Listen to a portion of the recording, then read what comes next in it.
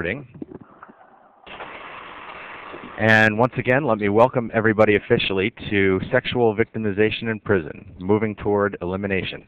Today's event is sponsored by the National Institute of Justice and the Government Innovators Network.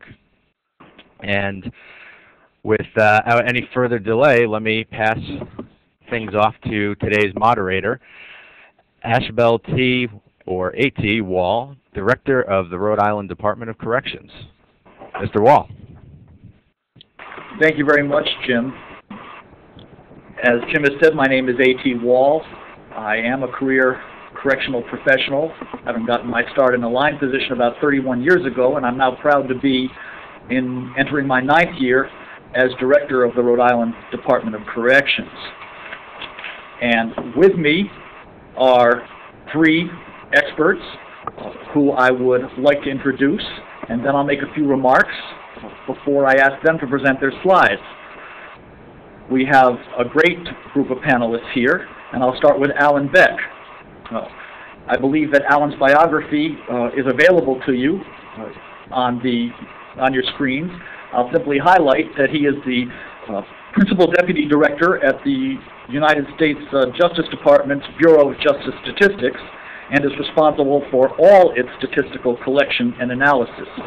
Uh, he is specifically the point person on the implementation of the requirement in the Prison Rape Elimination Act that there be a comprehensive statistical study of the incidence of sexual abuse in custodial settings, uh, and that those findings be reported to Congress. Uh, second, uh, we have with us Brenda Smith. And Brenda is a professor of law at American University's Washington College of Law and an expert on issues affecting women in prisons, uh, including in particular sexual abuse. She has been a litigator in this area and also has done extensive teaching and research on the subject.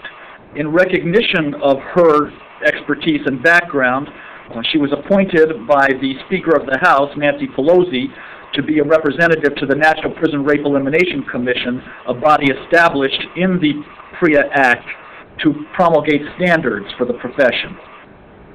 Finally, uh, Barbara Owen, formerly a senior researcher with the Federal Bureau of Prisons and currently a professor at uh, California State Fresno in criminology. Barbara is also a widely published scholar and author uh, and teacher uh, on a variety of topics related to women in institutional corrections, the dynamics of female institutions, gender-specific program, programming, and also staff sexual misconduct. And shortly, I'll ask shortly I'll ask each of them to uh, to present a limited number of slides uh, to kick off the discussion, while we invite you to begin to submit questions so that we can tap this panel's expertise. Let me start by saying that uh, we in the profession know that sexual abuse, both staff on inmate and inmate on inmate, have occurred as long as there have been jails and prisons. But that the passage of the Prison Rape Elimination Act uh, has shone a spotlight on an issue that has remained in the shadows for many, many years. Uh, as it happens, uh, I was tapped by the Professional Association of the State Corrections Directors uh, to testify at the co congressional hearings on this bill as it was making its way through Congress. And I can tell you that it passed both houses, the Senate and the House of Representatives, unanimously without a single dissent and was signed into law in September of 2003 by the President. So it enjoyed a great deal of support across the entire spectrum of politics. What does PREA do? It makes the prevention, uh, investigation, and punishment of prison rape, both inmate on inmate and staff sexual misconduct, a priority for the nation's jails and prisons. It includes mandates for data collection, uh, the requirement that uh, training and technical assistance be offered to the profession, and the establishment of a commission who, which will promulgate standards that will serve as the template uh, for the entire profession. in addressing this challenge. It is, I believe, a challenge that our profession is ready, willing, and able to accept. And this conference is intended to help us all learn more about what we can and need to do to be successful in our mission. With that having been said, I'd like to open it up to Allen Beck, so that, uh, Allen, you can present the information that you have that provides some statistical context for our discussion, after which I'll ask Brenda to speak from her perspective, and then Barbara. Uh, thank you very much. It's a pleasure to be with you today. Let me begin by saying that the Prison Rape Elimination Act is not about prisons and it's not about rape. It is about all forms of uh, correctional supervision, uh, holding people in custody, whether it be prisons or jails or juvenile facilities, police lockups. It includes a vast number of facilities beyond simply prisons. The Bureau of Justice Statistics estimate that about 9,000 facilities are covered under the Act. When we say it also applies much more broadly to all forms of sexual violence, not simply rape, and that means a, a substantial continuum uh, uh, in terms of the types of activities included. Uh, it would include any forms of sexual activity that are unwanted or illegal within a correctional setting, including all forms of staff sexual misconduct, however initiated. The Prison Rape Elimination Act requires BJS fundamentally to provide estimates of the incidence and prevalence of sexual violence at a facility level. It goes well beyond simply mandating a national study. It requires BJS to provide accurate and comparable estimates of sexual violence for every facility included in the study. It requires BJS to rank these facilities every year through 2010. It requires BJS to sample not fewer than 10% of facilities each and every year. And finally, it requires BJS to interview current and former inmates. So is a very uh, substantial mandate uh, to fill. Let me begin by saying that to meet these requirements, BJS has adopted a multi-measure, multi-mode strategy. Specifically, we assessed the past research and deemed it deficient and not suited for ranking facilities. Past research was subject to very low response rates. Past research did not have uniform definitions, and it was and the past research was beset by the absence of scientific sampling and adjustment for, for response and non-response bias. As we developed the methodology, we uh, began our work using administrative records. And so in 2004, following the passage of the Act, BJS undertook a large-scale national survey of administrative, uh, based on administrative records. We included all state prison systems, the federal system, we sampled local jails, we included all juvenile systems, and we sampled local and privately operated juvenile uh, facilities. Based on those administrative records, we issued a report and we have issued three reports available on the BJS website at ojp.usdoj.gov slash BJS entitled Sexual Violence Reported by Correctional Authorities for each of those three years, 2004, 2005, 2006. While we were doing those record surveys, we developed a methodology for collecting data from inmates whether current or former inmates. That methodology and its shorthand is ACASI, Audio Computer Assisted Self-Interviewing, which essentially means that the interview is conducted on a kiosk or a soft screen uh, computer with a synchronized audio feed. That methodology has been shown to uh, be uh, advantageous for collecting data that's fairly sensitive in nature in which a personal interview is will not draw out uh, the full array of information one is looking for. So we spent that time developing ACASI self-interview, and in 2007 we began national implementation. So today I'm here to share with you some of the results from our first national implementation.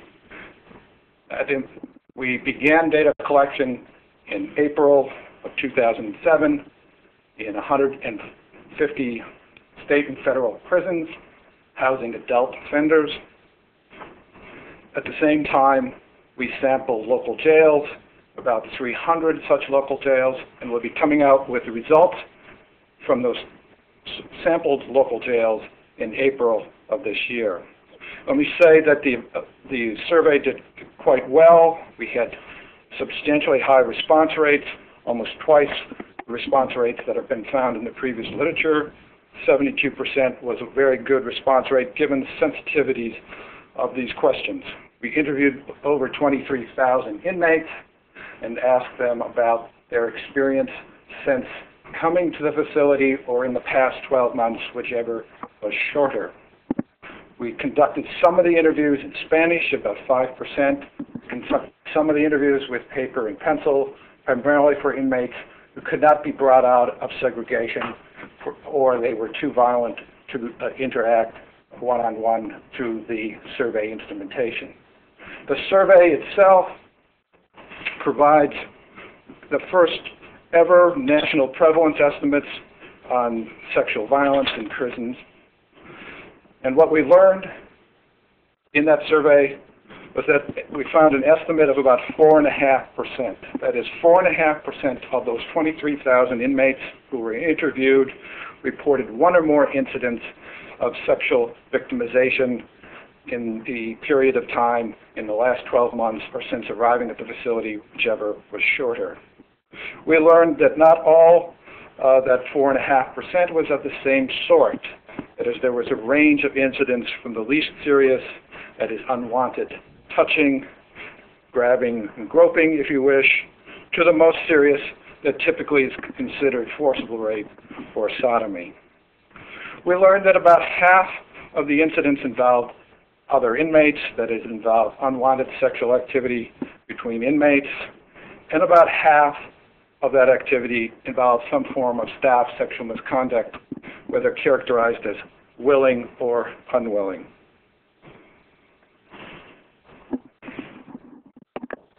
We, in terms of ranking facilities, we were able to identify 10 facilities with the highest rates.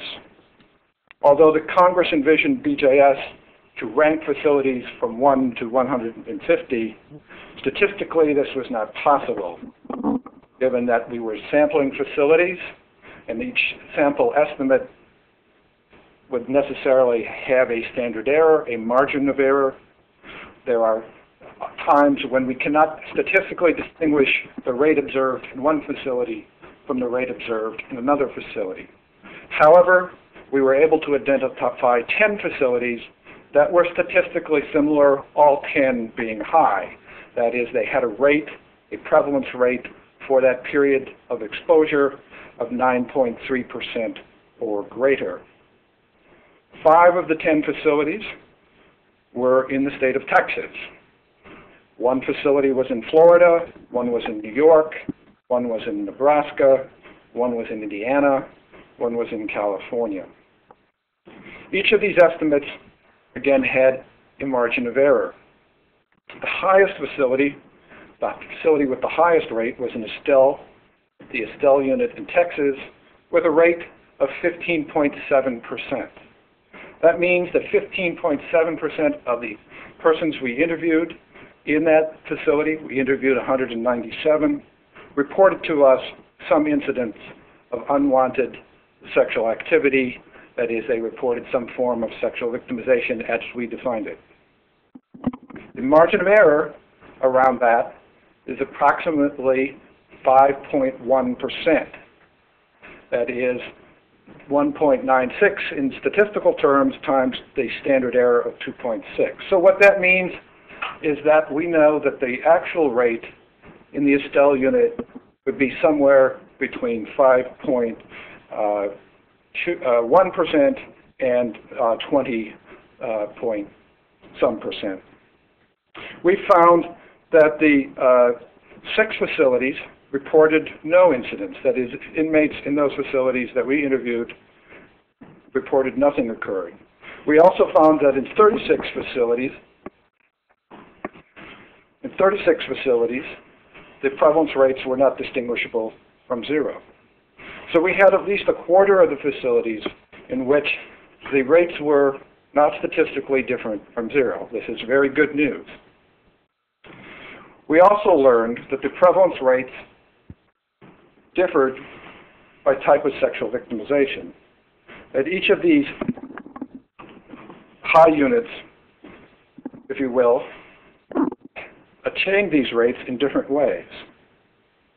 We found three facilities that were female facilities among the top 10, a very high rate among female facilities, and that these female facilities were largely the result of reported inmate on inmate sexual activity rather than staff.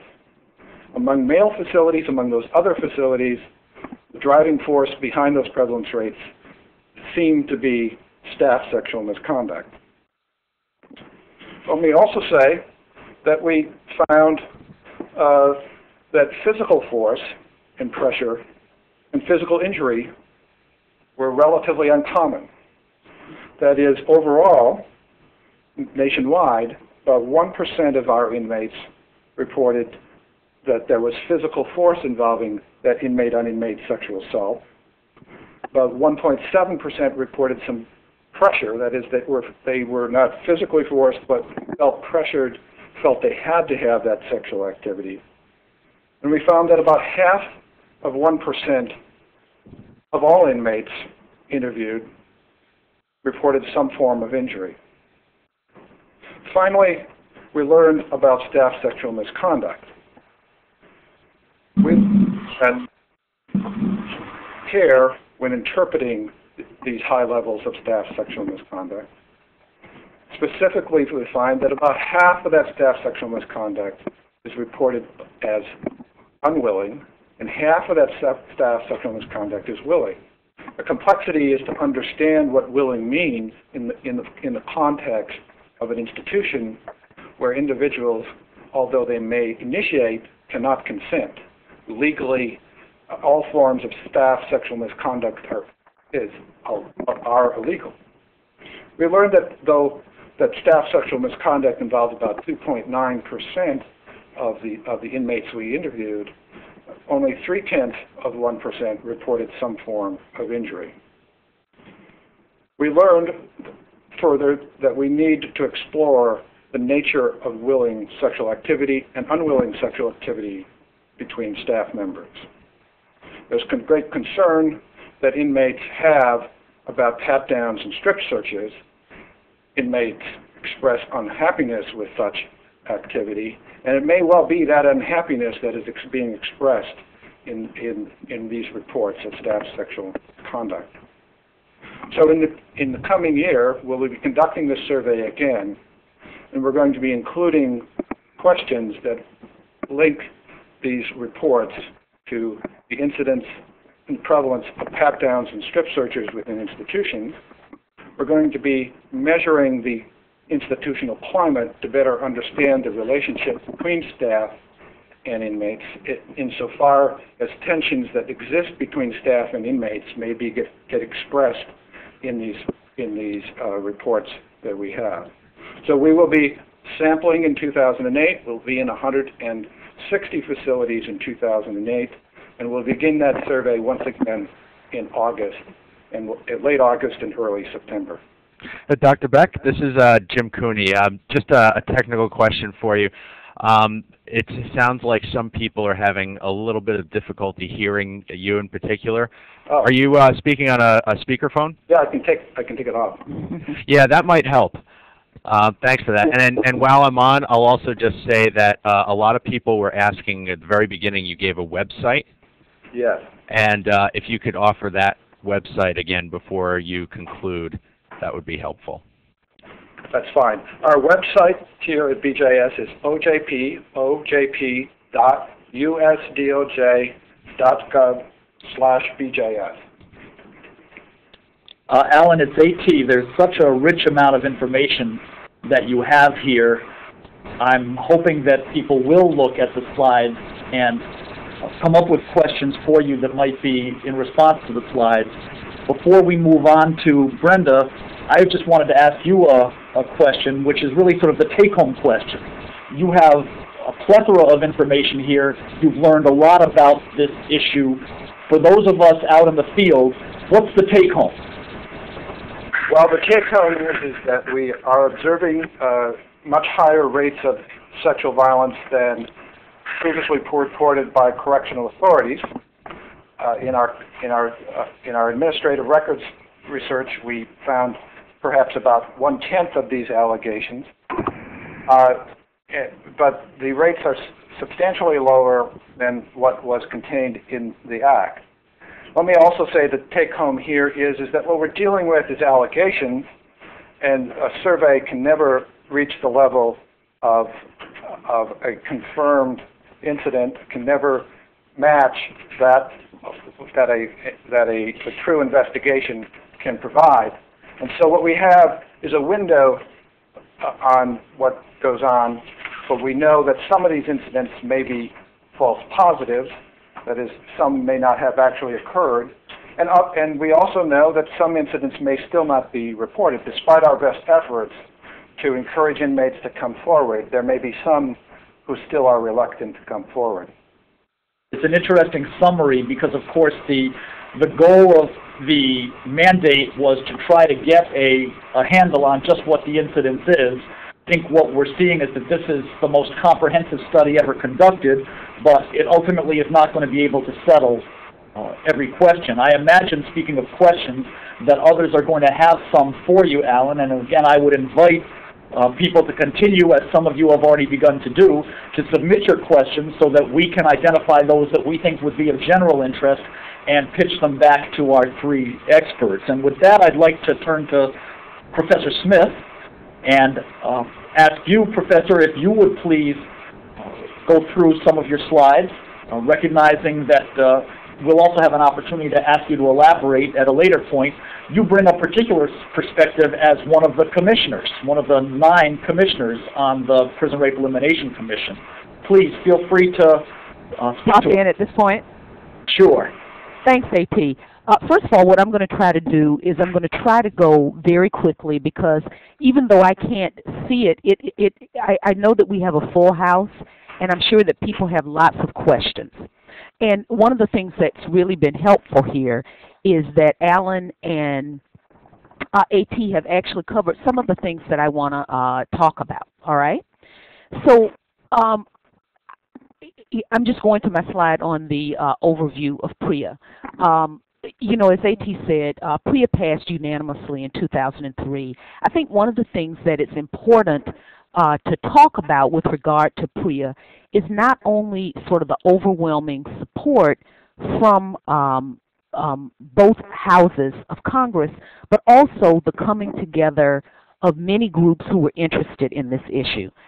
Certainly uh, advocacy organizations, but also a real interest uh, from the faith-based um, community uh, as well, uh, and also those who uh, were concerned in general about victimization uh, as well. So I think that that's also a very important thing to uh, talk about.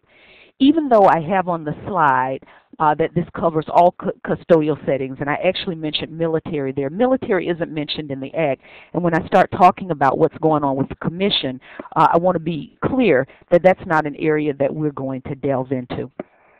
Um, Allen has talked about some of the work that he's done specific that BJS is doing.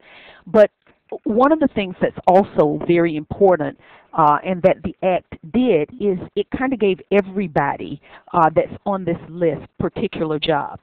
Many of you are familiar with the National Institute of Corrections, and under the Act, uh, the National Institute of Corrections, NIC, was charged with uh, doing technical assistance and training and really sort of sounding the alarm out in the field about PREA's here and what do you need to be doing in order to comply or begin complying.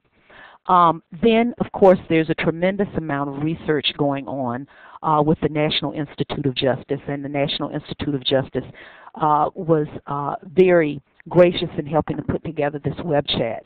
Uh, the Bureau of Justice Assistance provided grants, um, and I believe that the, uh, the Act initially authorized between 40 and 60 million dollars for grants. Not that all of that money was appropriated, but a significant number of grants have gone out. And in looking at the attendance list, I see a number of uh, jurisdictions on um, this chat who I know received those grants. Uh, the Bureau of Prisons I mentioned, uh, because once the standards are promulgated, they will be immediately applicable to Bureau of Prisons facilities. Um, there is also uh, an institutional review panel, and I hope that we get questions back about that, because what that institutional review panel does is it takes the information that Allen talked about, and one of the provisions under the Act is that those people with those highest and lowest numbers have to appear before the review panel and explain to them what happened. How did we get to be the highest and how did we get to be the lowest? Uh, and then certainly there's the National Prison Rape Elimination uh, Commission. Uh, what I want to do is I want to talk a little bit about things that you should know. Um, a, a, couple of things that you should know about the Prison Rape Elimination Act, and I think that this was a huge concern um, for people when the act was initially passed. Um, you know, as a correctional administrator, as a state, does this mean that this is another source of legal rights for prisoners? And actually, the answer to that is no. The um, Prison Rape Elimination Act specifically says that it does not create any private right of action, any new legal rights.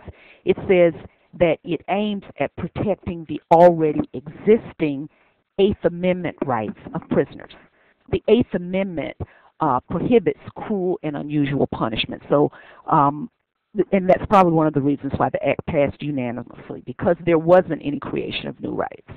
Um, one of the things that the Act does is it does have a little bit of a stick. And so if after the standards are passed, you fail to comply with them, there is the prospect of a loss of funding. And I think finally, while the underlying requirements don't create new rights, they could provide very useful information in gaining visibility for the issue of sexual violence in a particular jurisdiction or particular institution.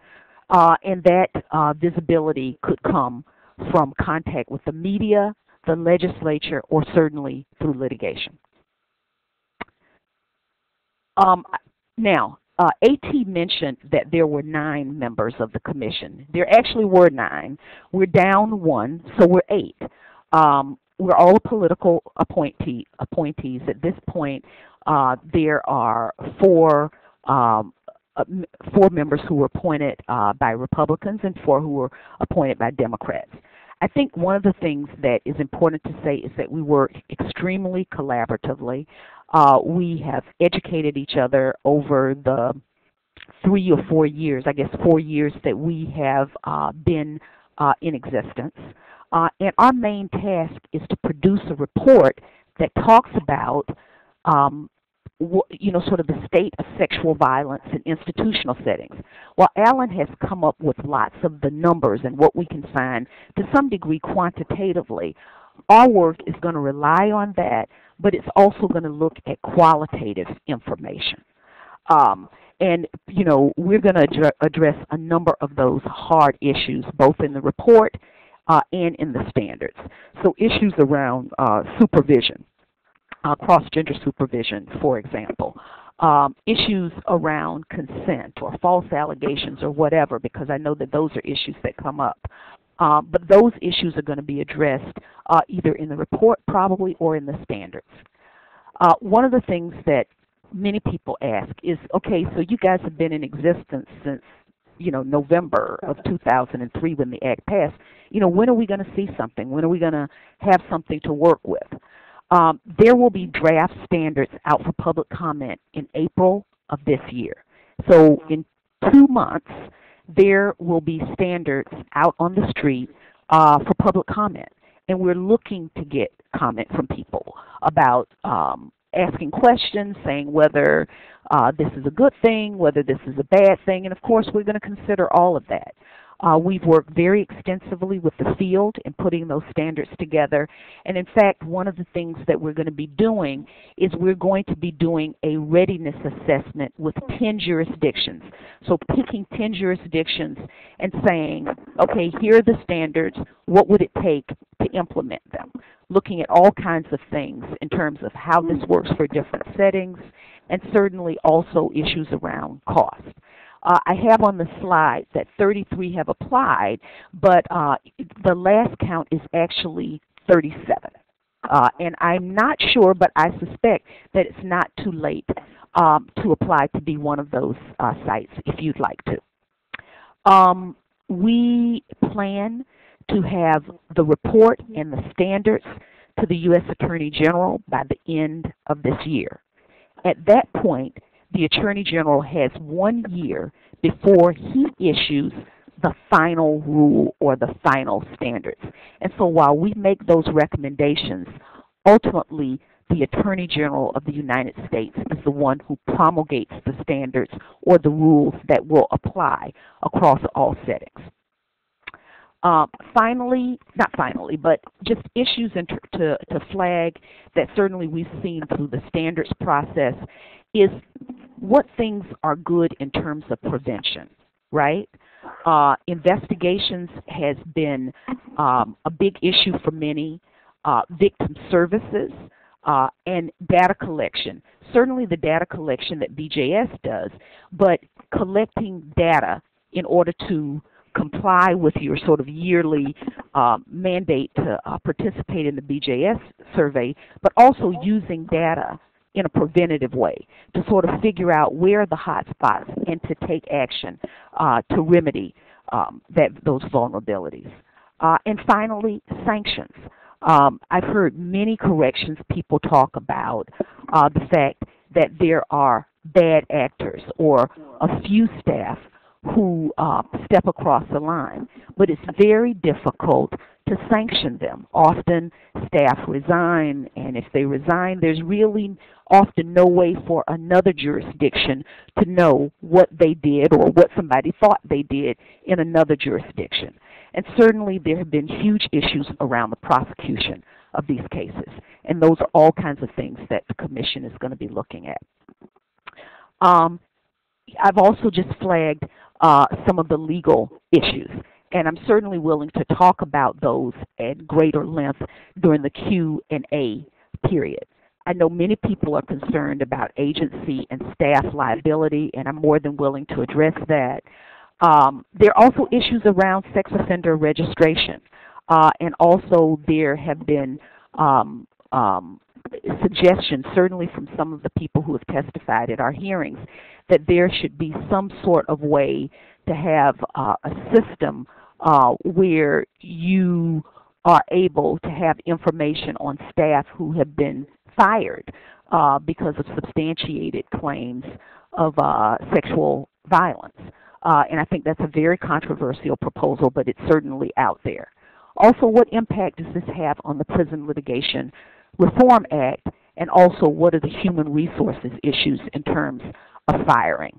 Uh, again, I'm putting out some very provocative issues there, and I'm hoping that I hear from you guys in the Q&A period. And finally, I just wanted to end about where to go for resources. Uh, I'm naming names here. Uh, so you see uh, Dee Halley from um, NIC.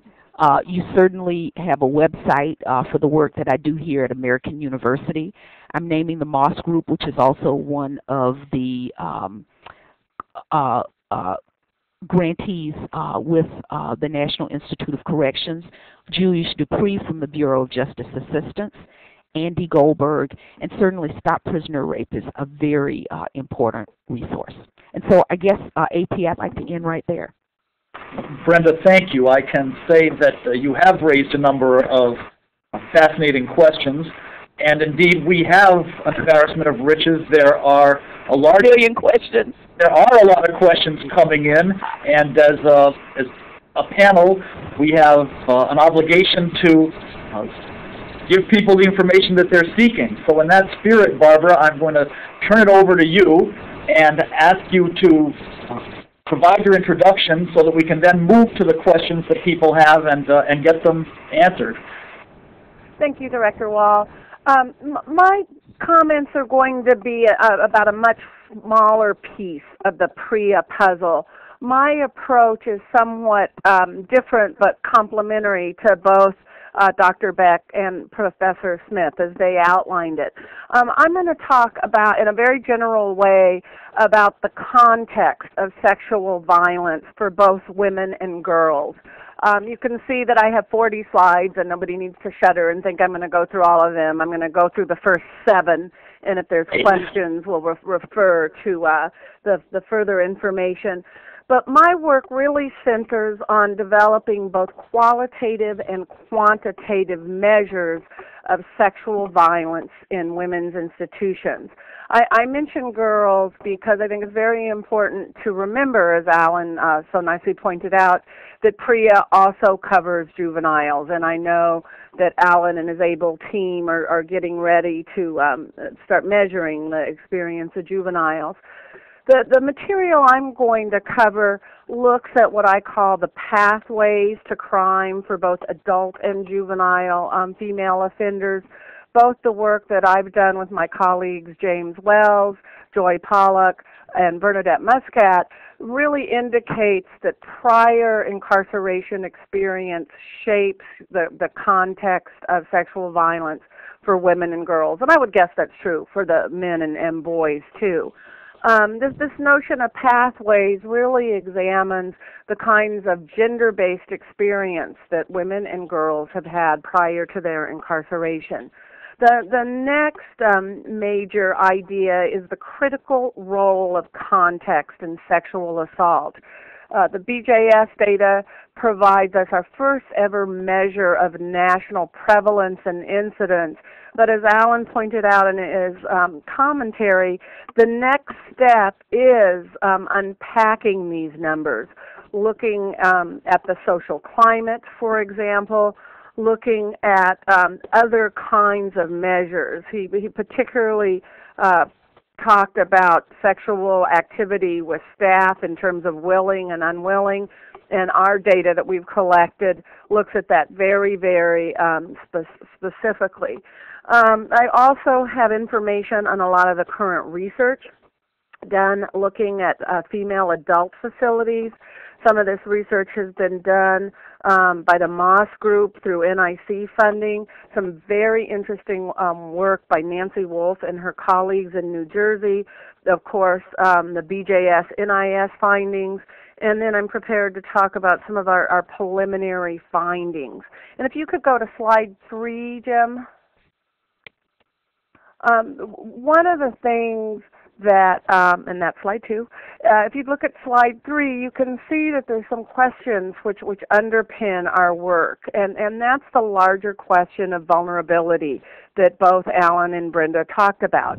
The question is, what makes sexual violence possible?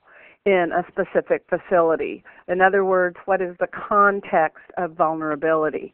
I also think that the flip side of that question is exploring the possibilities for a safer correctional environment for women and girls. If we know about the vulnerabilities, again in this contextual way, including, of course, individual factors, which are part of the context, but also stepping back and looking at some of the um, other issues, I think we have to ask that question. How can we make these places safer for women and girls? When we talk about females specifically, we always come to the question, what do we do about consensual relationships? Um, consensual relationships between inmates was picked up certainly in the BJS NIS data, and you see um, the, the details on willing and unwilling. You also see the issue of pressure. I was particularly fascinated by the fact that um, there were high rates of pressure uh, noted by the BJS NIS work, and I and that's something we've certainly picked up in in our interviews with women in, in four states and in both prisons and girls. The, I mean, this, this idea of um, searching has also been a, a major theme that's developed in our qualitative data and we, we I, I tend to call it over searching. How much of this over searching is really reflected in the data that Allen and his uh, team have, have collected? Um, I think the, the last question here is, is one, as, as Brenda likes to say, is controversial, and that is um, avoid punishing relational behavior work that I've done, work that many other uh, criminologists and sociologists of women's prisons have pointed out, is that women do their time in this relational context. And, and I've seen in many states that I've looked at that one of the first reactions under the PREA umbrella is to punish um, relational behavior. And and I think that um, even though this is uh, kind of a wild thing to say, I think we have to think very carefully about PREA being used as another way to, to further punish um, women and girls, and and again for for uh, men and, and boys and, and young men uh, uh, for, as that matter. So I think these are the overall questions that that underpin the, the work that we're doing in four states. And if we move to slide number four, you can see an overview of some of the implications for the pathways um, that that uh, prior experience has for sexual violence in, in female facilities. Overall, a large majority of women and girls in uh, facilities have um, inappropriate sexualization. And if you see what that, I, I bring that up in the first uh, bullet point. That could mean sexual violence. It could mean being sexualized at a young age. It could be a very common pairing of introduction to sexual behavior and drug or alcohol behavior at the same time. You also see in the lives of many girls and young women that sex itself has been defined as love or as a commodity, something that they can sell both um, in their lives before prison and sometimes even in their lives in prison the, the kind of psychological notion of boundary issues is really critical when you look at the relationships women have in prison, both with each other and with staff. Uh, the, the fourth issue has to do with defining domestic violence. We've certainly found a lot of what would be called domestic violence in a community setting within the prison, and this, this notion of definition, I think, is, is a critical part of the context that we need to develop. Um, women report to us in our studies and many, many other stories, studies enormous fears about disclosure and reporting. And that was one of the enormous strengths of the BJS approach in uh, protecting the confidentiality of, of, these reports, which isn't always true in, in official reports and investigations. We also know that the, the idea of PTSD, uh, attendant symptoms such as depression, um, and re-traumatization also account for some of the sexual behavior we see in women's prisons. I think uh, raising questions about uh, sexual violence in women's facilities really uh, brings up a treatment issue in, in, in two levels the notion of the immediate crisis when there is an assault, and then long term treatment issues. Finally, um, one of the things we do know in setting women and girls in locked up facilities is that trauma is an untreated condition, and this trauma um, creates a lot of the relational violence we see in these facilities, as well as a lot of the survival behaviors you see post post release. So this is just a, a, a detail about the pathways that women and girls travel before they come to prison and show how these experiences before prison really have a, a, a definite influence on their sexual and relational behaviors once they, they do come to our facilities. Um, the next slide, slide number five, talks about context. And, I, and I'm defining context very quickly here, trying um, to keep to my uh, seven slides, even though I could talk forever.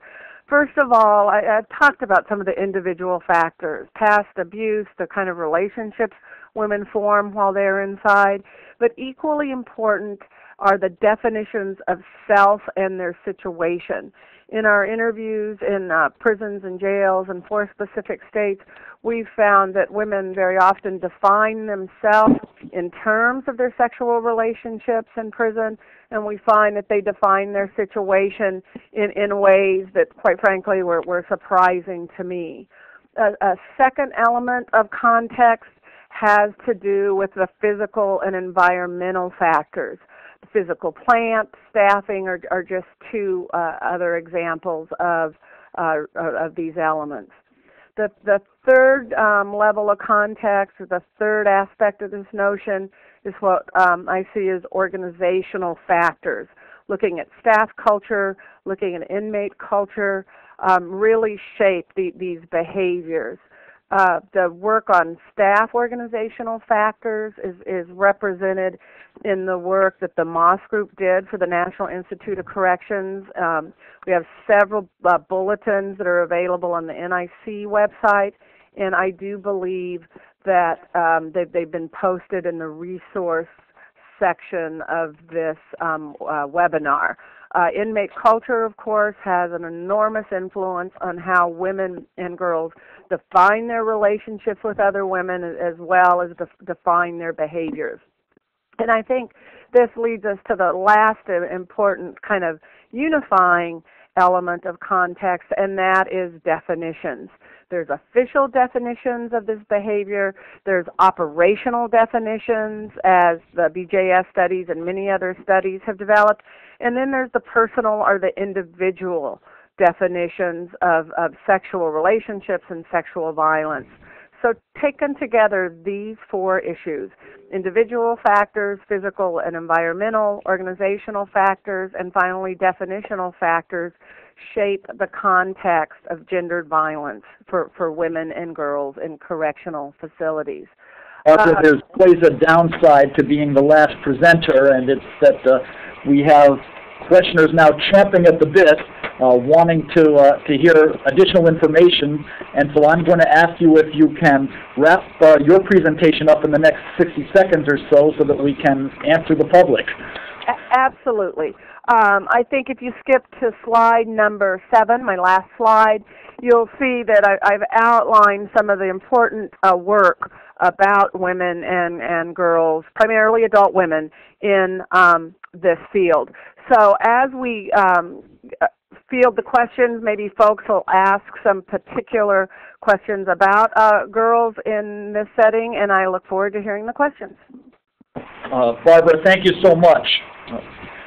Now it's time to uh, toss some questions to the panelists that have been raised by folks who are out there participating in the conference. Uh, by the way, speaking for myself, I always talk longer than I think I have. I look at my watch after I give a, uh, an answer or a presentation, I say, did I really take up that much time? So uh, with that in mind, please, uh, panelists, uh, if I pause you during the course of a response, uh, take no offense. I'm just trying to make sure that we answer as many questions as we can. And to those of you who have posed questions, uh, there are so many of them, and they're so good that my difficult job as moderator is to pick and choose among them. So please bear with me if uh, not all of the questions get answered. That having been said, Allen, I think I'd like to ask you to address this one. Um, somebody has asked about the top 10, uh, and the question is whether you see any common characteristics that would explain why those top 10 prisons might be at the top of the list.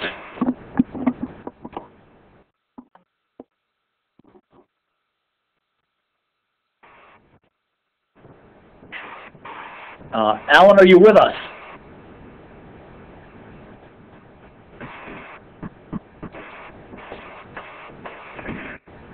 Hi, this is uh, Jim Coney. Um, I'm going to chat with uh, Allen and see if we can get him back online. In the meantime, maybe we can just toss the question to uh, one of the other panelists.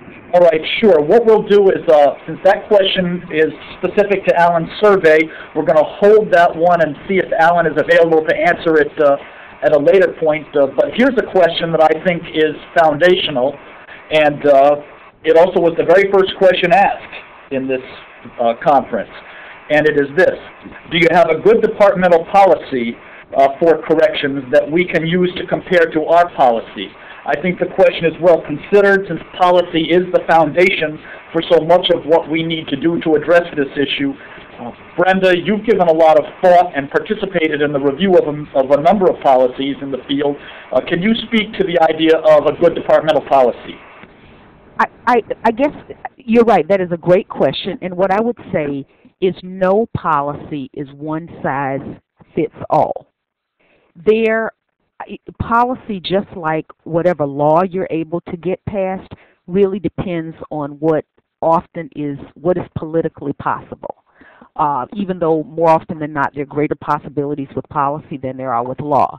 If you were looking for not the gold standard, but some examples of policies that you might uh, find, you could certainly go to um, the, the website uh, www.wcl.american.nic www.wcl.american.edu backslash NIC, the one that I put on my resource slide, and look at policies and procedures. And there are a number of policies and procedures that are posted there. Not that we necessarily vouch for them. There are also a number of policy guides that have done been done by um, Susan McCampbell um, uh, with Center for Innovative Public Policy, and a number of these policies are also available through the NIC uh, website and also through the NIC Information Center. Thank you very much, Brenda. In the course of your remarks, uh, Barbara, you posed some issues that have raised, I think, some questions that go to the core of how we address the concerns raised uh, in the course of the PREA legisla legislation. Uh, you talked about uh, issues of consent. You talked about uh, relational versus uh, abusive contacts and it stimulated this question from one of the folks participating. Um, so how do we differentiate between normal relational intimacy between female inmates and abusive behavior? Let me interject, by the way, that this question, of course, assumes that the context is inmate on inmate uh, sexual conduct, contact. I think it's understood by all that uh, when it comes to staff sexual misconduct, the responsibility is on the staff member. Consent of the inmate is beside the point. It is not the issue. But when you're talking about inmate on inmate relationships, the points that you made, Barbara, become highly relevant. But with that in mind, any thoughts about uh, how somebody who's charged with investigating this kind of behavior differentiates? I, I think that is a, a critical question that, that folks in charge of investigation, folks in charge of running a safe facility ask. And, and at this point, I, I don't have an answer. Um, we're analyzing our data, and you know, researchers, we always take forever to analyze our data. Just real quickly, I see a question about when this will be published. We'll be submitting our findings and our recommendations to um, NIJ at the end of the summer. I suspect they won't they won't be available for some time after that. But part of our project is to create operational bulletins that apply our research to various various operational issues, and one of those it certainly is the how, how do you tell the difference and what do you do about it. I think that, that again part of the contextual approach requires us to take a step back and ask questions about what kind of prevention, what kind of treatment can we offer to the, the population in general that that that looks at um, relationships that are harmful, that looks at relationships that might both get you in trouble in, in prison and sustain some of the problems that you you you have when you when you leave the correctional environment. And so, well, um, AT, I'm not answering the, question specifically, how do you tell the difference? I don't know how to tell the difference.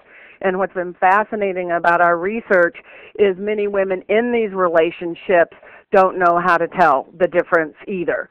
And so I, I think that the question is, should be now, what can we do to better equip um, women and girls while we have them in the facility to recognize what a, what a healthy relationship is, to recognize what their boundaries are, and again, I'm just absolutely fascinated by how our work overlaps with with um, the BJS findings in terms of the high rates of pressure, of recognizing what pressure is. So I, I think that the one of the first things is to think about educating inmates about sexual and personal safety in both the larger um, frame of providing treatment for women for the for um, their pathways to prison, but also in, in creating safety. But this really is the million dollar question, and, and I don't know that um, I have the answer for it at this time. Thank you, Barbara. Speaking of Uh, I'm sorry, this is Jim Coney interrupting. Uh, I think we hopefully have Allen Beck back on the phone, I just wanted to test. Allen, are you there? I'm here. All right, sorry we lost you. I don't know what happened there, but we're uh, we're back. We're complete again. So proceed. one, uh, we have questions and uh, we're hoping to ask you to provide answers, but first, a follow-up question for Brenda on this same subject. Brenda, many of us out in the field are struggling with the question of how, if we're charged with investigating these kinds of incidents, we are to determine where consent plays a role and where it does not. And I think many of us are looking to the commission to help us figure that out. Uh, any thoughts that you have from your extensive work in this area uh, about how investigators can consider the issue of consent? Well, I, I guess one of the things that where one of the places where I would start is just saying that sexual behavior in institutional settings is not static. I mean, if you think about, uh, if you can visualize sort of a line, right, with uh, forced sex on one end, and then moving over coerced sex, then strategic sex, and then consent, and around consent, particularly in an institutional setting, I put a question mark. And the reality is, and that's very difficult, is that relationships can go back and forth across that line. What may have started out as forced sex may end up becoming strategic because somebody says, okay, if I'm going to be forced into this, at least I better get something out of it, right? And then certainly the issue around consent is very difficult. I think that realistically what happens is that agencies must look at their policies. They must also uh, be very skill, skillful in um, interviewing in, inmates and looking at indicia of whether it looks consensual or not. You know, the reality is is that for all institutions, I, I, I know very few that have a policy that says that sex of any kind is prohibited, is, is permitted. So, I mean, if you start with that, the issue then become becomes what is the sanction? Is there going to be an administrative sanction, or are you going to move this up into something that gets sent out to the state police or gets referred for prosecution? And I think that you look at indicia around um, uh, injury to the extent that there's any, um, trying to get in, indicia around people feel whether they're forced, do they feel like they're able to um, leave or enter the relationship? Certainly.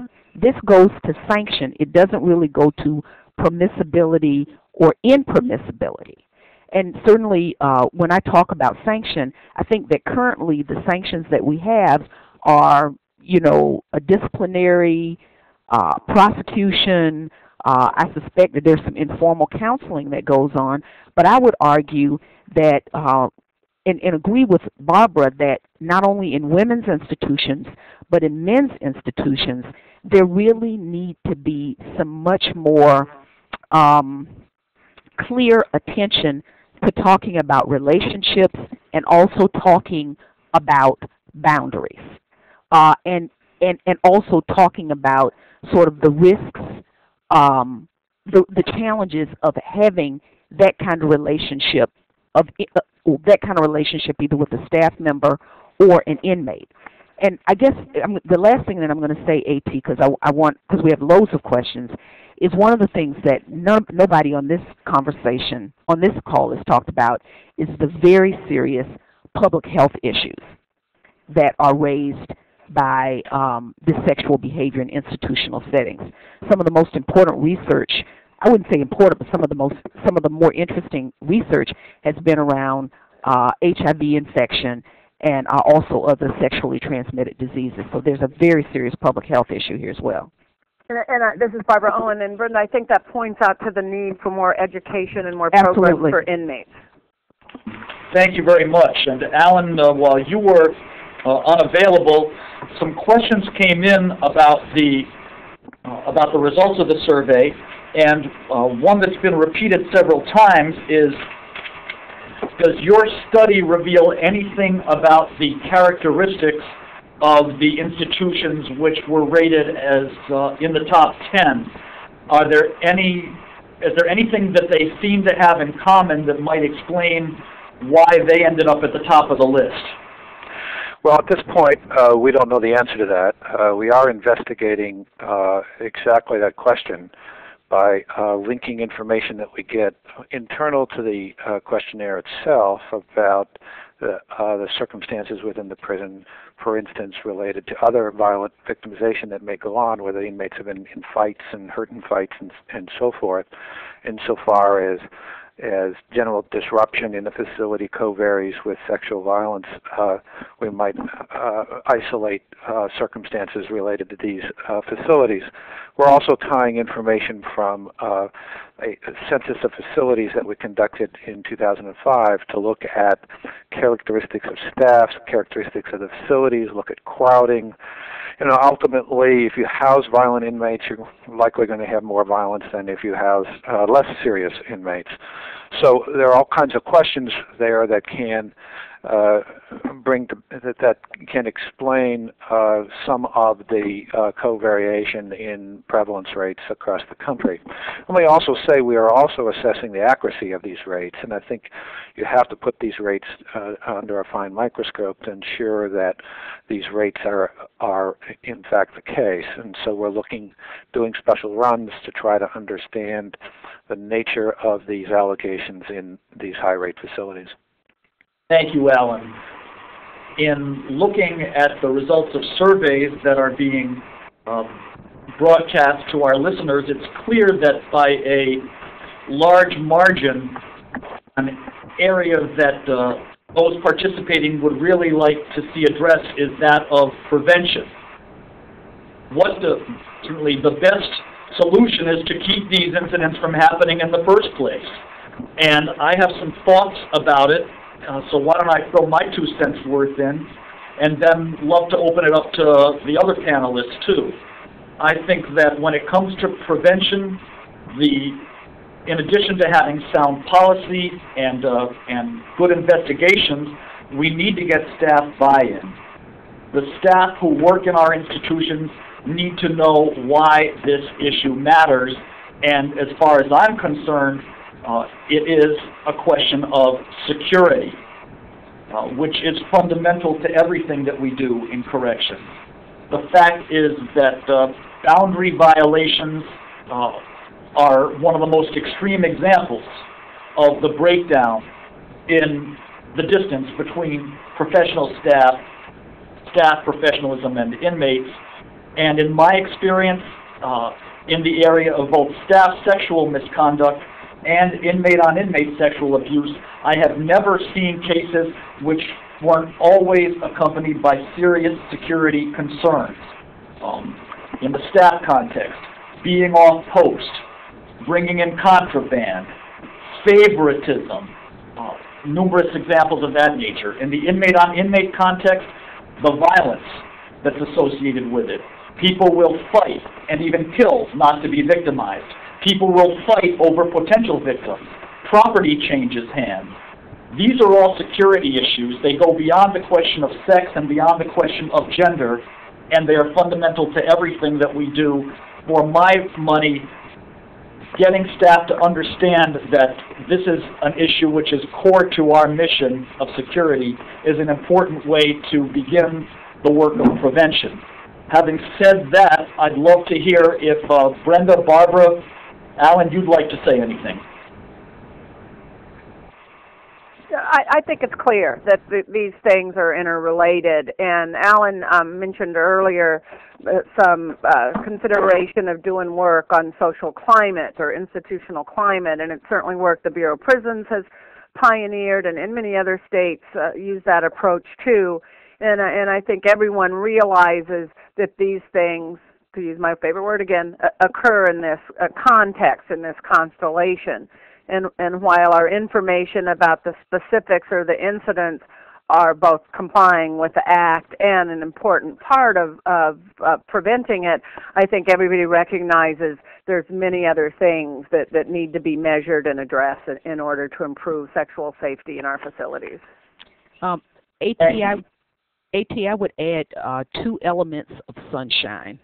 Uh, one is transparency in terms of uh, bringing in other people into uh, corrections who um, can talk about trauma, who can talk about victimization.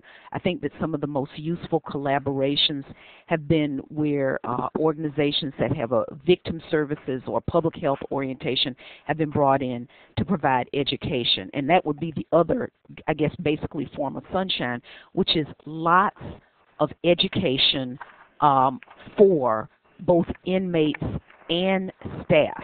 Uh, try to figure out all kinds of entries to talk about this information, talk about it in orientation, talk about it in roll call training. Let the manage make it clear that management and leadership are very concerned uh, uh, about this and that it's important to you. Talk about it as a public health issue. Talk about it uh, as a security issue.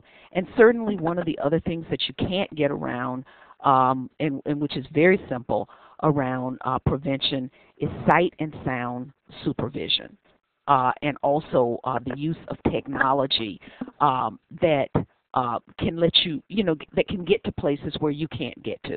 And I guess the other one would be an audit. Right now, we have lots of information.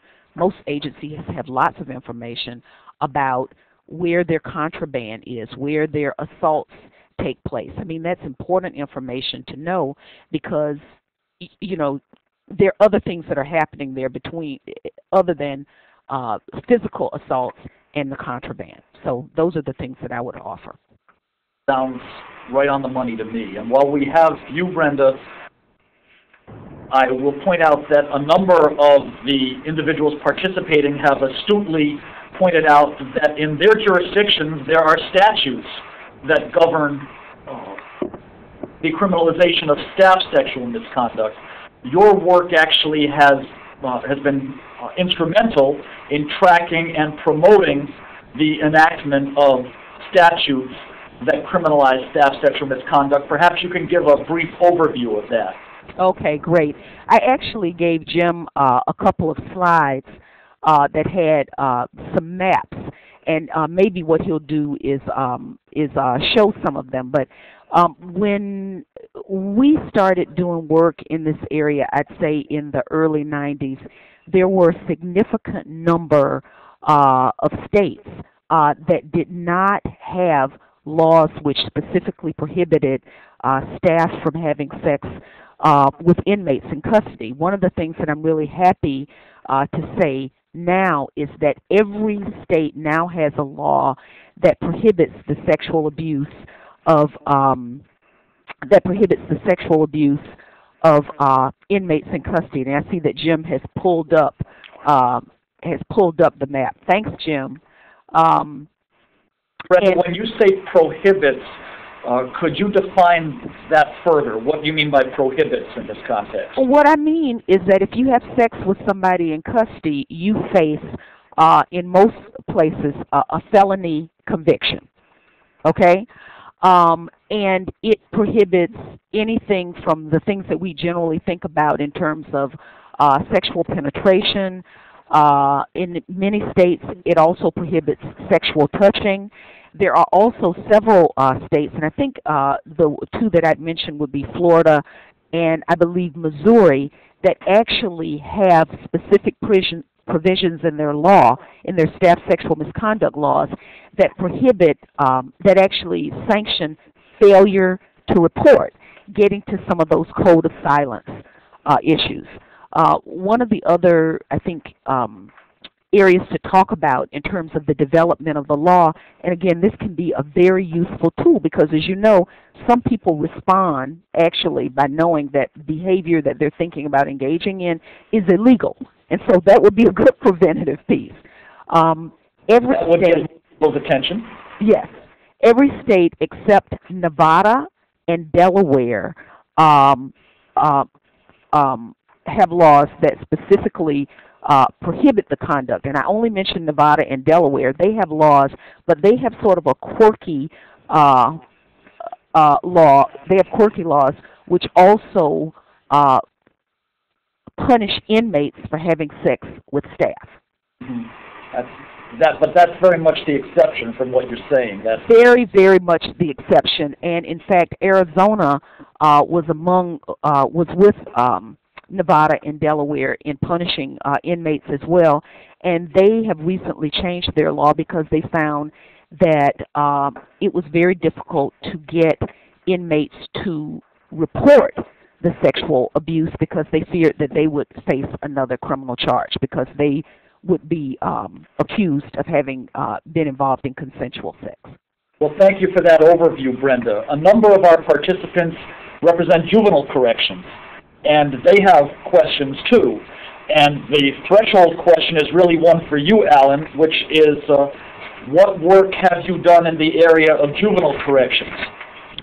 Well, uh, we have uh, done a fair amount of work. Uh, we did an initial survey in 2004 to get some baseline uh, numbers related to juvenile corrections, and let me say we found rates that are substantially higher than the rates we observed in adult corrections.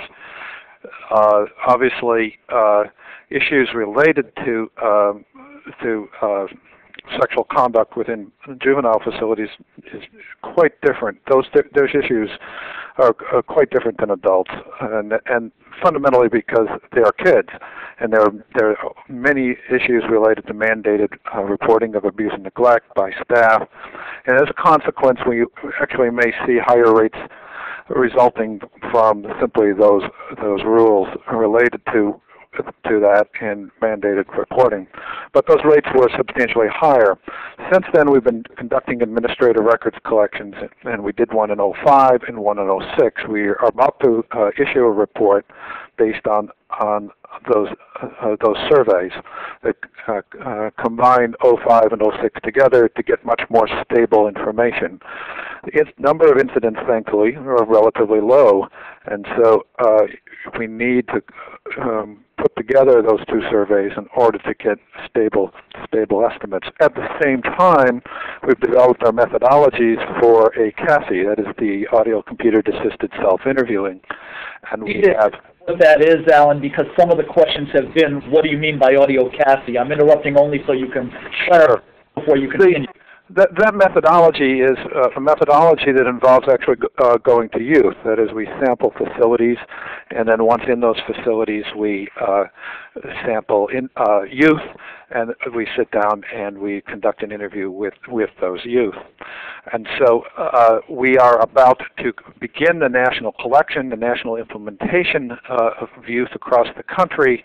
That is those audio computer assisted self interviews. We're uh, we're at this point looking for OMB the uh, approval. The Office of Management and Budget must approve our work. We have conducted some pre-tests in facilities selected on an ad hoc basis. We have found rates of sexual contact that involve coercion that are substantially higher than that what that what we observe you know, among adults. Uh, we uh, know that some of these youth are prone to uh, misreporting. We've looked at that, and we've found in our in our work rates that are somewhere around uh, four to uh, seven percent, depending on how you how you measure it. So the uh, incident, the prevalence rates in youth facilities are very much an issue. We will begin that uh, data collection uh, in state-operated uh, facilities all across the country, uh, beginning uh, once we have OMB approval. We expect that to occur in April. Thank you very much. It sounds as if uh, juvenile corrections is getting attention from BJS, and uh, we'll get the similar similar kinds of uh, surveys as have been done in the adult system. That's correct. Brenda, is the commission working specifically in the area of juvenile corrections as it promulgates standards? Yes. Thank you for that. Uh, Will they be a separate section? Yes. I'm, I'm, I'm, I'm, I'm trying to be a little bit more, a, a little bit more brief, but absolutely. The, um, Appreciate that, and I'm not, I- I'm not suggesting you need to elaborate, I just wanted to give you time if you, if you so chose. No, uh, th- the reality is is that um, as we we certainly are going to be coming out um, by the end of April with the adult standards. It may take a little bit uh, longer for uh, juvenile and for community corrections settings, but there definitely will be standards uh, for juveniles. Well, that, that's helpful. You had mentioned earlier that uh, in this area, one size fits all doesn't necessarily apply, and it sounds as if what you're telling us is the commission is going to be adopting standards specific to the context, adult corrections, institutional, juvenile corrections, community corrections. It won't just be one set of standards with general application. Right, and, and, and certainly there will be differences between prisons and jails as well. Speaking of jails, uh, we have a question from a jail commander that I think articulates what's on the minds of many of our staff who work in custodial settings. And he is expressing concern that uh, PREA will, will encourage current inmates or ex-inmates to make false allegations against staff, ruining reputations and uh, increasing liability. Who would like to address that, uh, that very real concern on the part of people in the field? Well, uh, let, let me begin on that, uh, since I uh, obviously am very concerned about uh, that in terms of getting into facilities, ensuring that the numbers are uh, accurate. Uh, obviously, you know, some inmates are there because they're not entirely truthful, because they do have uh, a, a, history of deceit. We obviously cannot, in our measurement, uh, uh, raise to the level of a full investigation.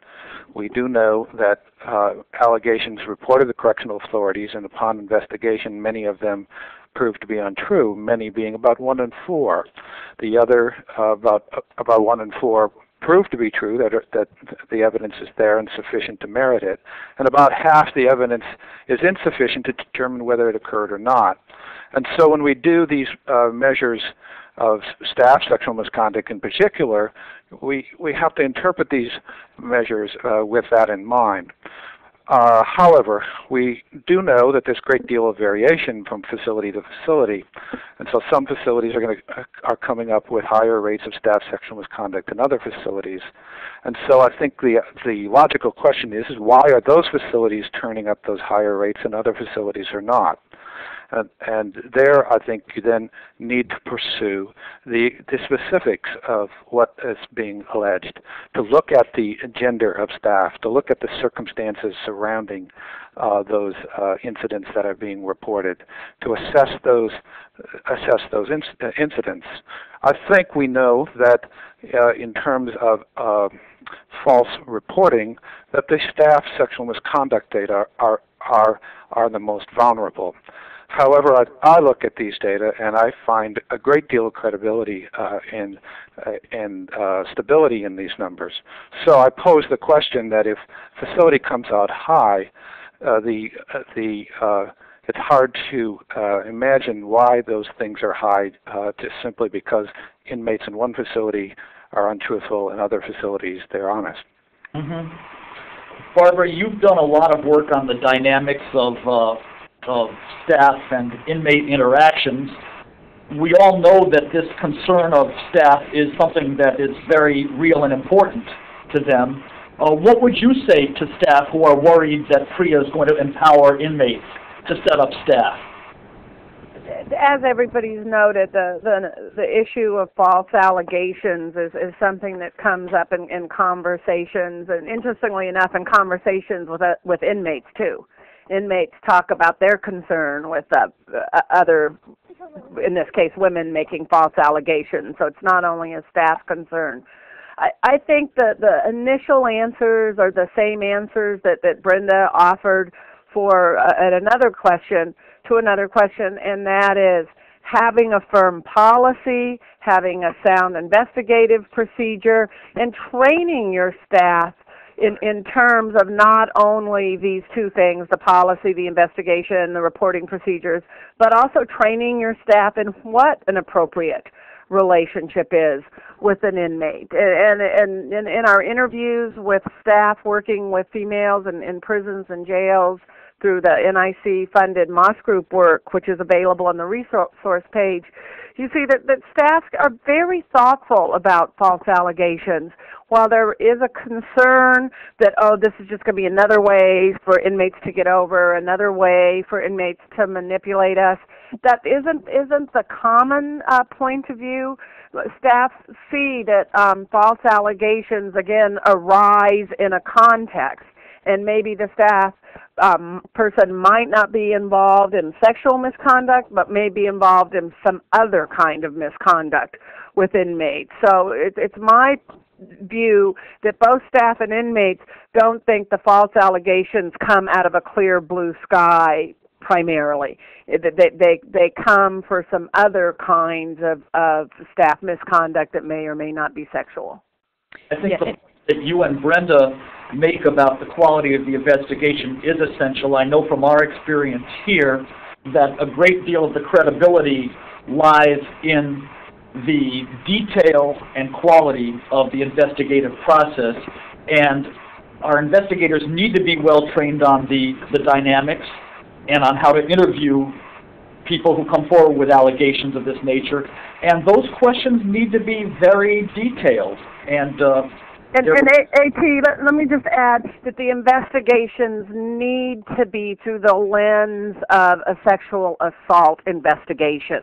And I think it's it's a new day for corrections in in recognizing that investigations have to have this service or this treatment or if I dare say this empathy component. And and I see that uh, on the screen uh, the NIC bulletin and staff perspectives uh, pointing to investigation makes this this point in more detail than I can right now. Yeah. And I guess one of the things, AT, that I would say just very briefly on the false allegations point is that there are tremendous hurdles in institutional settings to reporting. You know? I mean, you've got to get the form, you got to find somebody to take the form. Um, you know, the form uh, has to be processed. The form has to be processed. It has to be done in a particular period of time.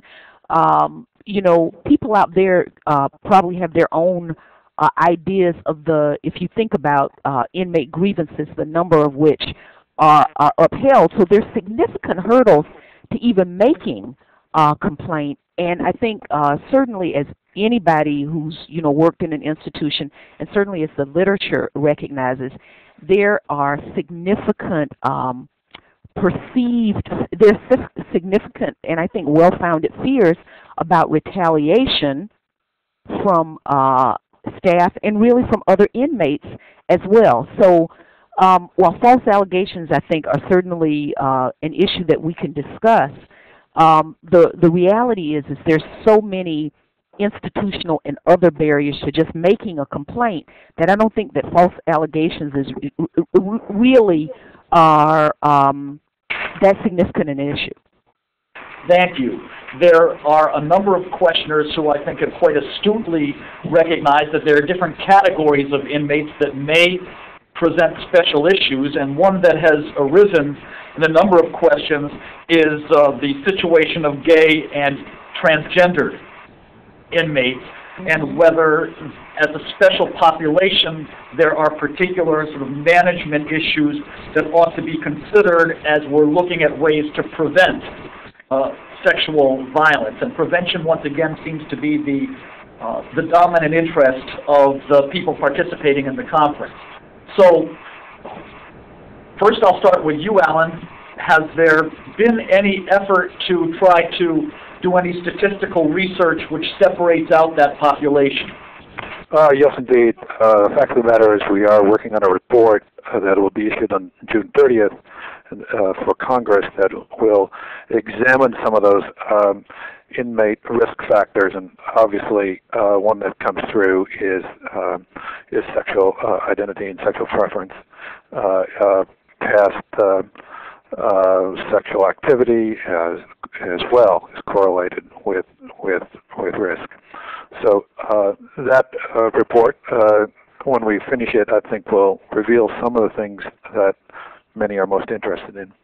Thank you. Brenda, you have done a lot of work in looking at the particular concerns that both uh, advocates for this population have and also uh, institutional managers who are trying to work uh, appropriately with this population in the area of sexual violence consider. What, what are your thoughts? I guess what I would say, um, Allen, is not Allen, I'm sorry, AT. I guess AT, what I'd say is that um, prevention here is key. Uh, having good systems in place uh, to identify risk not only for lesbian, gay, bisexual, transgendered um, individuals when they come in, but somebody actually talked about policies. There are actually uh, very good policies that are out there. Uh, I think there's some on the SPR website. Uh, the Sylvia Rivera Project has a great report uh, out uh, talking about the treatment of transgendered uh, individuals in custody. I think I have that right. And so I think that there's a lot of thinking and a lot of writing that's been done on this. Certainly supervision is key. And one of the um, real issues um, has been how do you um, deal with uh, people who, for example, have not quite transitioned? What I mean, and there are other issues not only related to safety, but there are other issues related to medical care as well. And those are some of the same issues that put people as, at risk. I mean, do you have an obligation to continue to provide a hormone uh, for people who are transitioning? If you have somebody who has different genitalia, uh, than sort of what they identify as. I mean, these are very, um, I think, uh, complex issues, and they're not something that you can kind of handle on the fly. Uh, if this is an, a, a, concern, and I think that everybody who is in corrections has experienced it, it and, and they know about these particular vulnerabilities, this is one of the things that you might want to flag in terms of your implementation of PREA to go out and do some more research on and pull together a group of people, both internally and, and externally, and talk about what your policy is going to be. Um, and finally, I'd say that DC actually just uh, issued a very good policy about how police officers will deal with transgendered individuals who they come into contact and what the uh, experience and what will happen to them when they go to the jail.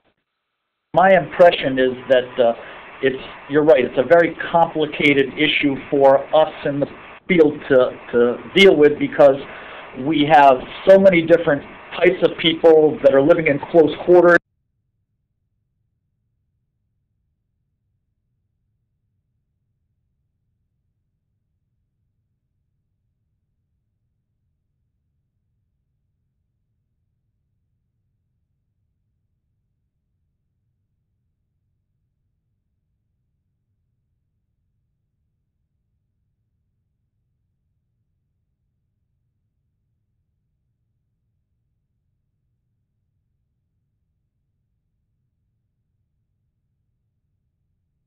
This service is provided by freeconferencecall.com. Please enter your conference access code followed by the pound key. This menu will repeat. You entered 920160. If this is correct, press 1. To re-enter your access code, press 2. There are 61 other callers on the call. Conference options have now changed. At any time, press star 4 for conference instructions. Please announce yourself. complexity of these kinds of things, I think, mirrors a lot of the arguments we make in the contextual approach. Right. And and AT, one of the other things, I mean, you you talked about um, transgendered individuals. There are other populations which can be vi- can be quite vulnerable. I mean, one um, that I feel sort of falls in a gap with a lot of the work that we're doing uh, is adults, not adults, youth who have been transferred for prosecution as adults. Uh, in many systems, they're systems, they're housed in general population with other inmates, and they are tre- tremendously vulnerable uh, to physical and sexual assault. And I guess one of the things that I'd put out is, is I'd be interested in just in, in terms of a question is Allen whether any of that has emerged or whether that's a particular population that BJS is going to be looking at. Well, let me say a few words about that. Fortunately, there aren't many kids in adult systems in, in prisons. The numbers have been dropping. Their latest estimate is around 2,500 in state and federal prisons, state prisons, uh, none in federal. And then, and any one day in, a, in local jails, there are somewhere around six to seven thousand. That number is lower as well since uh, 10 years ago. So the numbers, That's still a lot. so the numbers, the numbers are are declining. Uh, and so uh, that's a good sign. Uh, we we did not interview kids uh, this first round in 2007. We will be interviewing kids in 2008.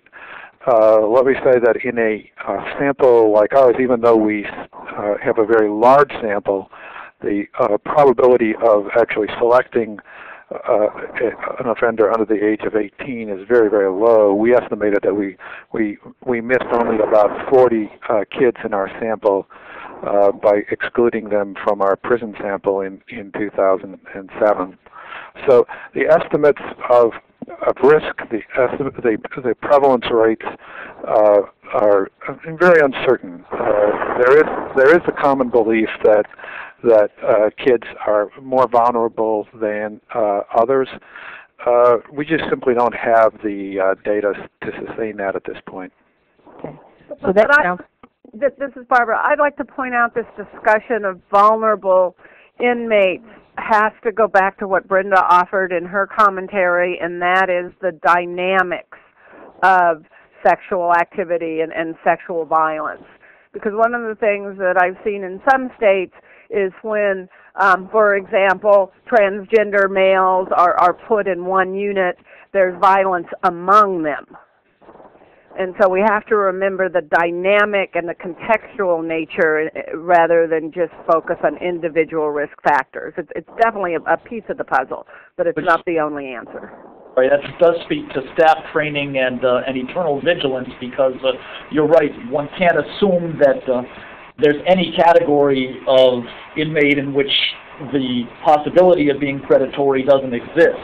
Barbara, you have uh, expertise in uh, healthcare and female inmates, and I'm going to ask you to generalize from that to answer a series of questions that have come in from people participating, specifically uh, in an allegation of sexual assault, be it staff sexual misconduct or inmate on inmate, uh, what is the appropriate response of health services? Many of our staff are, in fact, in the medical and mental health fields. What's the appropriate response when an allegation surfaces? It, it's been my experience that um, the teamwork approach is the most uh, effective response, and teams that, that that make that are made up of investigators, mental health professionals, uh, physical uh, medical professionals, as as well as those involved with investigation and um, classification kinds of issues. So I think so often our investigators are left without the support uh, of folks with this expertise. So uh, the short answer is a teamwork approach that, that includes um, th- these various folks, in my view, is probably the best approach. It's, you pointed out that these things, these cases need to be looked at uh, as sexual assault cases. So let me ask you, Brenda, does, um, what are the implications of that perspective for how we should mobilize resources, healthcare and mental health resources? Uh, I think that the uh, it, it goes back to my earlier point about sunshine. Uh, it, you really often corrections agencies don't have those kinds of resources in house. It's very important to have a good relationship uh, with your local hospital uh, that does um, uh, sexual assault examinations certainly uh, getting in contact with your SANE, which is Sexual Assault Nurse Examiner organization or individual uh, in your jurisdiction would be good. And I think that it's very important to initiate a conversation with uh, your local um, rape crisis centers. Now, one of the things that I want to mention, uh, which has um, which is actually one of the hurdles that we heard about uh, during our last hearing in New Orleans, is that in many jurisdictions, uh, the funding that rape crisis or uh, victim services organizations, get, victim organizations get, prohibits them from from providing services uh, either to offenders or in I think it's primarily for people in institutional settings, which is uh, a really significant problem, particularly when you're looking at trying to uh, collaborate with victim services organizations. Many, however, do have service funding from other sources and are very anxious to be partners. But I think that that's one of the big, my primary suggestion, which is to uh, look outside for some help and also to get some training for your staff inside. And some cross-training with these partners. Yes, absolutely. Private prisons. A number of our participants want to know, do they get a pass? Allen? No. Allen, tell us about uh, your work with private prisons. No, absolutely not. Uh, private prisons uh, are treated just as uh, like state or federally operated prisons, and so are uh, privately operated jails treated just like a uh, public publicly operated jail. We have done some administrative data collection from private uh, prisons and jails, and the rates of allegations and the rates of uh, substantiated incidents are, are, very, very similar to uh, the state and, and local public uh, facilities. We uh, also included uh, private facilities in our in our actual victim surveys uh, in in the most recent wave of, of, collection, we did not oversample. They just had the same probabilities of selection like any other facility. And my understanding, uh, Brenda, is that uh, from the point of view of legal liability, if a, if a jurisdiction contracts with a private prison, that doesn't get us off the hook. No. Is that right? No. No. No. So we still we can't contract away our obligation to uh, to keep inmates safe from this kind of uh, behavior. No, you can't, but it does raise a really important um, sort of operational or leadership issue, which is to look very closely at the contracts that you have with private agencies to make sure they're congruent with your policies and procedures. Cross-gender supervision is coming up in a number of the comments and questions that we're getting. Uh, a debate about there is some belief, including on the part of some advocates, that the one solution to the issue of staff sexual misconduct is to eliminate cross-gender supervision, that uh, women staff shouldn't be supervising uh, male inmates and male staff shouldn't be supervising female inmates. Uh, any of you have any thoughts about that? Well, let me say that the data are certainly showing uh, significant involvement of female staff with uh, male inmates, particularly in in prisons. We've been monitoring this through our administrative data collections, and we are finding that about 60% of the uh, substantiated incidents of staff sexual misconduct involve female staff with uh, with male inmates. But, but, but I also think, and I'm sure Brenda would say this too, is that we have to keep in mind staff sexual misconduct is not always a male-female dynamic. And, and Allen's administrative data supports this, uh, experience supports this, that, that we have to be very careful not to narrowly define staff sexual um, misconduct as behavior between men and women. We know it occurs in all the quadrants. And so while cross-gender um, searching has to be thought about very carefully, we also have to remember that that it, staff sexual misconduct must be defined less narrowly. Yeah, and I guess where I would come down, at, especially since I do a lot of writing in this area, is that you know, and and, and this is legally, um, agencies are are on quite firm footing to uh, limit um, male supervision of female inmates. I mean, and I think that that's pretty consistently been ruled constitutional throughout the country. Um, at the same time, it's also been ruled constitutional that female staff can supervise male inmates in almost any setting except for one that involves prolonged viewing of them while they are nude. Uh, and I think that that's a problem. I don't think that um, uh, cross-gender supervision, uh, um, I don't think that it is the answer to all um, staff sexual misconduct, but I do believe that there are um, very serious issues around privacy and sort of um, the crossing of boundaries when you have staff of the opposite gender uh, viewing um, inmates uh, in in positions where they are disrobed. I think that probably a better practice would be to have same gender supervision in settings where there's uh, exposure to nudity. I mean that's and I I don't think that it's going to end all um, um, uh, staff sexual misconduct, but I think that it could uh, limit it, that it could reduce it, and we're trying to do whatever we can to prevent and reduce uh, sexual violence in custody. And Barbara's point is, I think, well taken, that while Allen's data shows that uh, uh, there's a significant amount of staff sexual misconduct that uh, crosses the gender lines. Uh, right. There is also staff sexual misconduct that occurs in same-sex right. uh, supervision.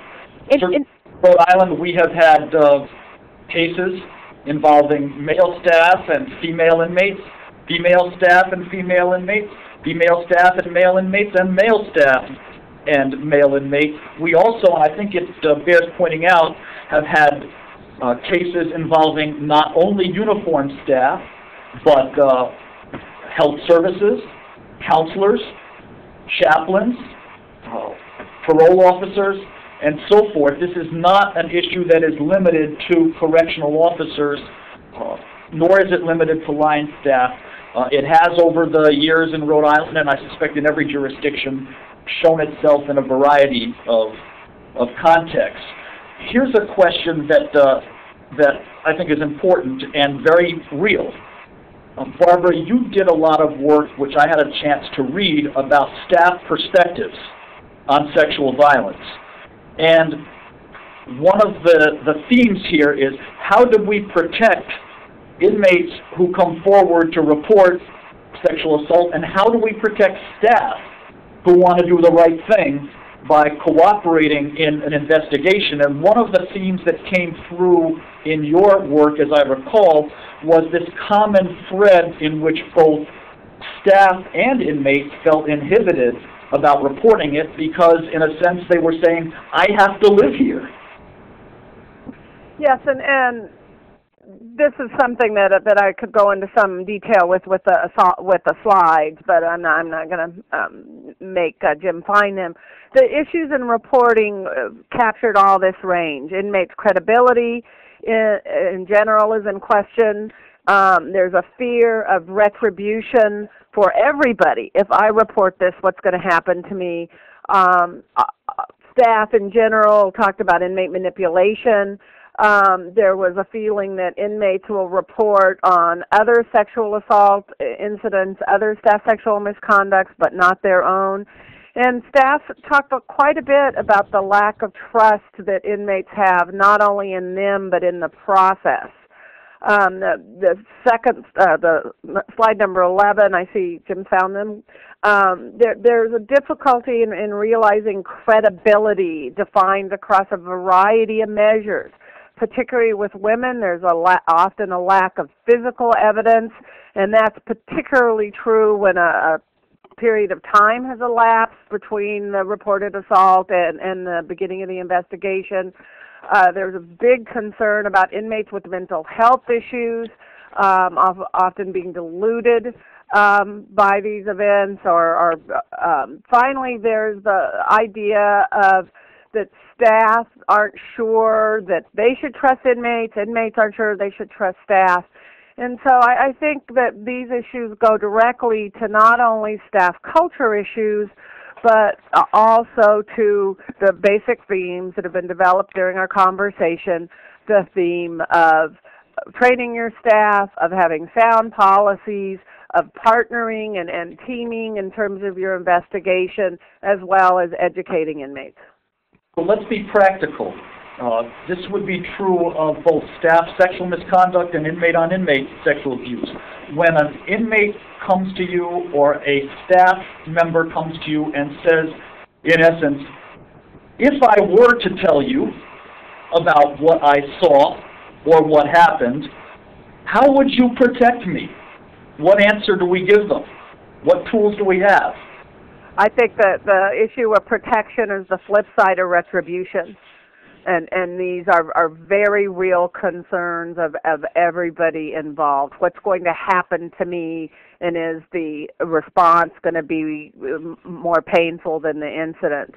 I, I again, I, I think I have to fall back on those beginning answers of policy, investigation, training, and and having a, a, a PREA coordinator like many states have now that that looks at how this question is going to be answered in this jurisdiction or in this agency. How is the issue of protection going to be handled? One of the things that we see very often that the inmate who reports these kinds of things is removed from his or her housing, loses their program status, maybe they're they're visiting and, and put in some kind of segregation that ultimately is, is punitive. And so these are the kinds of things I think PREA coordinators and developers of PREA policy have to answer. How, within the constraints of our system, can we protect inmates who come forward? Thank you. Uh, Brenda, any thoughts about uh, protection, which can sometimes look like punishment? You know what, um, AT, I do have some thoughts about that, but I also wanted to kind of go back to this other thread that we had going on about um, uh, cross-gender supervision and sort of Allen's numbers about uh, women um, staff. And um, I just want to kind of throw that out, and maybe we can come back to it. But um, you know, right now, 93% of the people in custody are male right? And so if we assume heterosexuality, you know, for as a dominant theme, then the 60% involving female staff, I wouldn't say it looks reasonable, but you you can sort of see that. Proportional. Yep, proportional. Thank you. Um, I also worry about uh, sort of an underlying thread of this is around who um, who's vulnerable uh, in an institutional setting, and often female staff feel very unprotected, and sometimes they feel as vulnerable to um, harassment or to being unsupported as female inmates. And so, no comparison there, but certainly similar issues around vulnerability. And I wonder if that's not a factor that needs to be looked at and certainly whether sometimes uh, that they are more often than not more recent entry entry have more recent entries into the professional ranks of corrections makes them more vulnerable to being terminated or fired or resigning or whatever. But anyway, that's what I wanted to put out. Mm-hmm. Now going back to this whole question around retaliation, I think that Barbara's done um, around protection. I think that that is the the um, the issue um, for both staff and for offenders. Um, one of the cases that I actually like to talk about is a case out of um, Massachusetts called Barron versus Hickey, where uh, one of a, a staff member uh, reported, um, you know, that the uh, correctional staff were playing cards with some inmates, um, and he was subjected to uh, slash tires, people dropping cheese in front of him, calling him a rat, calling him a snitch. Uh, he eventually um, um, resigned and uh, sued um, the department um, about his, um, you know, really what he believed was abusive behavior, and ultimately he recovered a judgment of five hundred thousand dollars. Uh, and so I think that the consequences for not dealing with this. That's not going to happen every time, but can be quite serious. And really, the the issue is that code of silence that exists for both inmates and for staff. This question also touches on leadership. And as we begin to close out the conference, it's something that I think ought to be addressed. We have many, many people participating in this conference.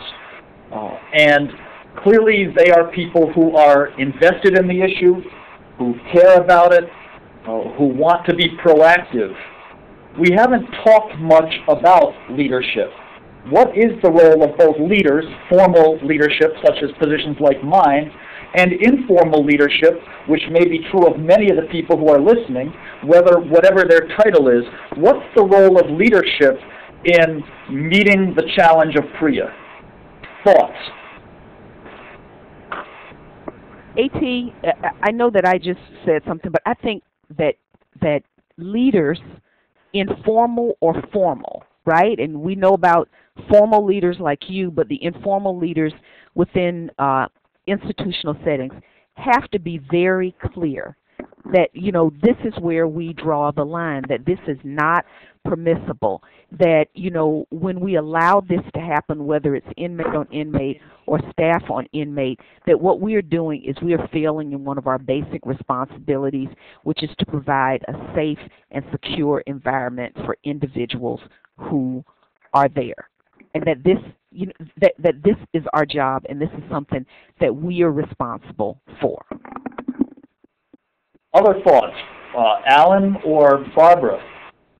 No, I, I think I'm um, very pleased to see the uh, number of folks who, at, at all different levels across all different jurisdictions, who are interested in this, and, and I think this is the the lesson of PREA.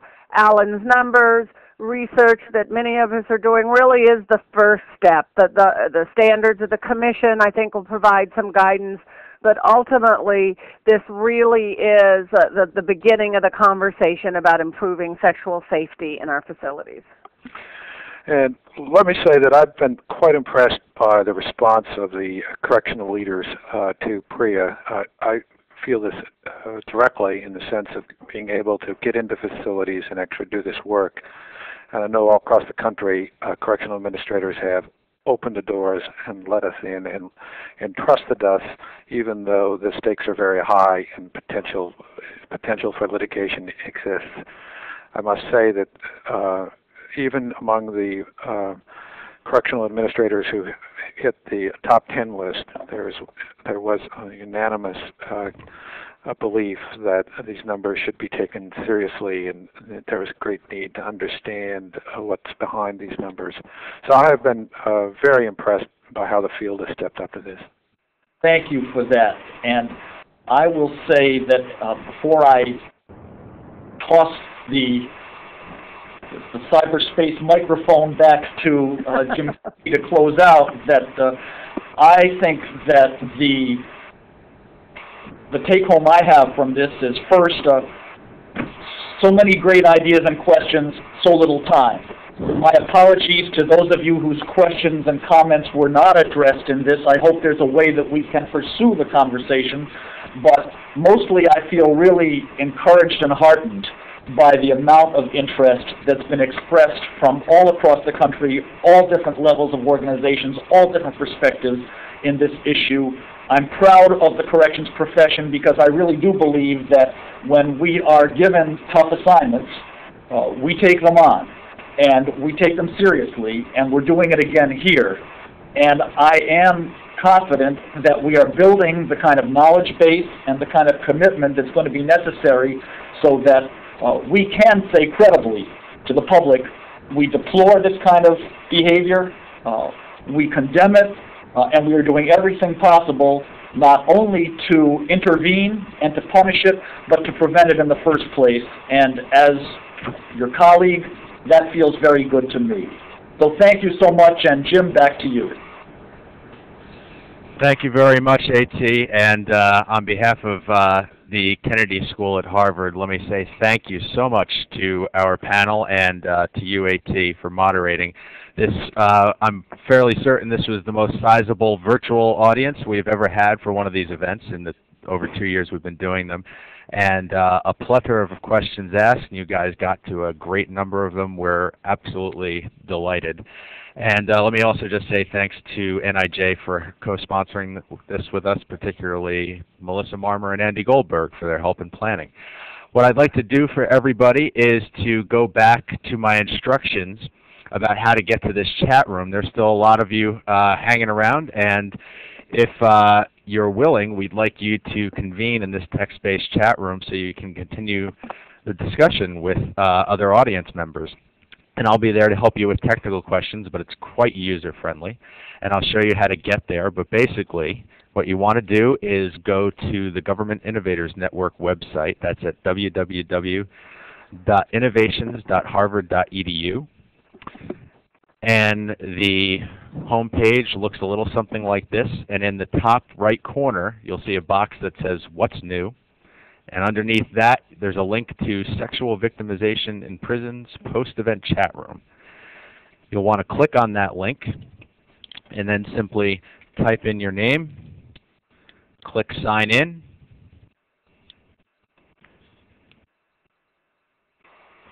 and uh, you'll be in the text-based chat room and you can begin chatting immediately. Uh, there's also, um, you can share URL links and uh, upload files for other people to share. Feel free to exchange contact information with your colleagues and um, I'm going to uh, leave those instructions up so that you guys have them. But once you're in the chat room, you do not need to keep live meeting open. You can close it out if you like. So uh, I hope to see some of you there, and uh, thanks again to everyone for making this event such a success. Thank you. Thank you. Thanks again. Thank you all. I think we are adjourned. All right. Goodbye. Bye, everyone. So, so Jim, do you have anything to say to us?